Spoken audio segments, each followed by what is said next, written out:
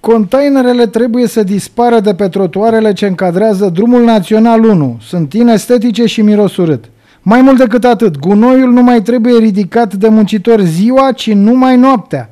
Măturile de la Salco nu mai trebuie folosite pe nisip sau pe ploaie, iar firmele de prestări servicii care se ocupă de spațiile verzi sunt cam multe. Acestea sunt doar câteva dintre constatările pe care primarul Gheorghe Sucaciu le-a făcut după prima lună de mandat. În momentul de față noi nu putem intra ca să rezolvăm aceste probleme noi cu ADP-ul pentru că acele suprafețe sunt sub contract. Referitor la celelalte zone, uh, am avut discuție și cu conducerea ADP și cu conducerea de la Salco. Am uh, scos de la uh, asistență socială și noi avem asistații sociali Uh, trebuie să efectueze cel puțin 10 ore de 10.000 de ore de muncă în folosul comunității pe lună. Uh, i-am lăsat pe ei să se gândească la un sistem ca acest, acești oameni, în jur de 200 de oameni, să lucreze pentru comunitate la aceste două, la, o, la societatea Salco și la uh, agenție la ADP, uh, văd că nu au reușit ei să se pună de acord și din, din acest punct de vedere luni o să avem o ședință cu a, cei de la ADP, Salco și reprezentantul romilor care am, pe care l-am angajat la primărie ca să avem comunicarea împreună cu aceste persoane, o comunicare cât mai coerentă.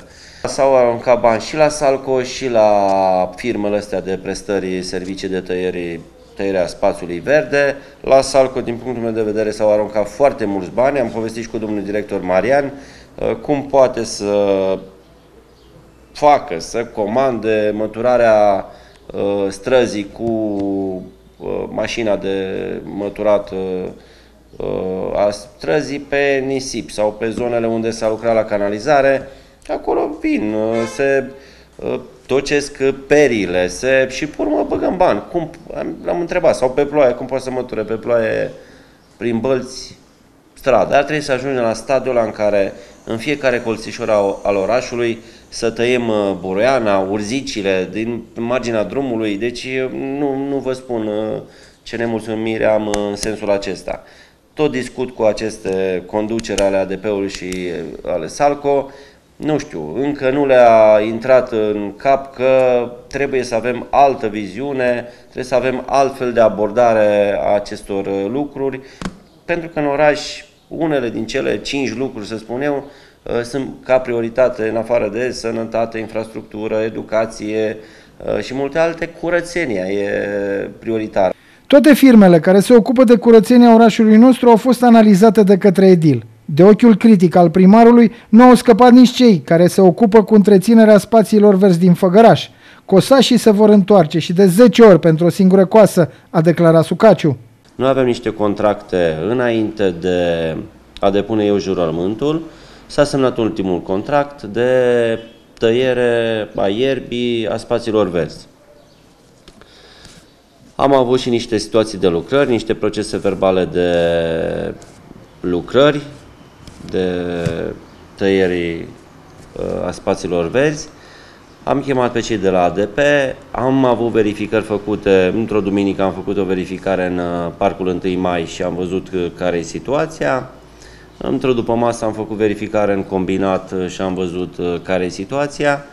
Nu am semnat nicio situație, nicio plată până în momentul de față. Le-am spus la cei de la ADP și sper că au și cei cu firmele de de tuns iarba. Singura firmă care își face treaba este o firmă care tunde uh, gardul viu. E, sunt verificate acele, toate aceste firme. Într-o singură dată am văzut că nu am măturat așa cum trebuie resturile de la gard, dar în rest acea firmă își face treaba. Iar firmele care taie uh, iarba în parcări sau în uh, în părculețe sau în uh, curtea grădinițelor sau în curtea școlilor, uh, nu își fac treaba așa cum trebuie.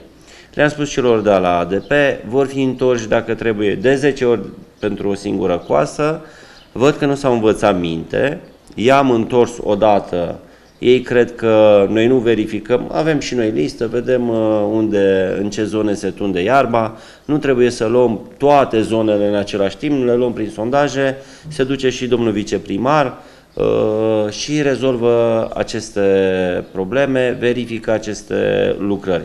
Dacă ei nu înțeleg, va fi o problemă de a lor, situațiile de lucrări, facturile stau acolo pe, pe masă, până nu am certitudinea că acele lucrări s-au făcut așa cum trebuie, nu vor fi plătite. Zonele care vor fi îngrijite de firmele private vor trebui igienizate de acele firme în continuare. Celelalte zone care nu au fost incluse într-un contract de igienizare vor fi curățate cu ajutorul celor 200 dintre persoanele care primesc ajutor social și care, conform legii, trebuie să presteze 10.000 de ore de muncă în folosul comunității. Primarul Făgărașului a decis să instituie un plan de organizare în care sunt implicate cele două servicii care se ocupă de curățenie, respectiv firma de salubritate Salco și serviciul public al domeniului public și privat. Vom face un plan săptămânal, iar ei vor împărți oamenii la, la aceste lucrări.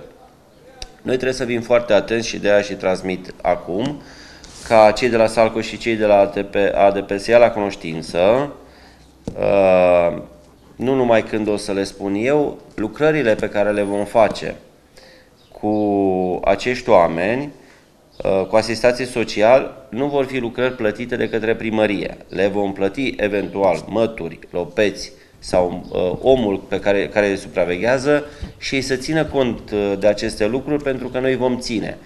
Gheorghe Sucaciu a adus în discuție și situația groapei de gunoi de la Făgăraș, care e neconformă. La o primă analiză, el a spus că o soluție ideală ar fi existența unei stații de sortare la Făgăraș.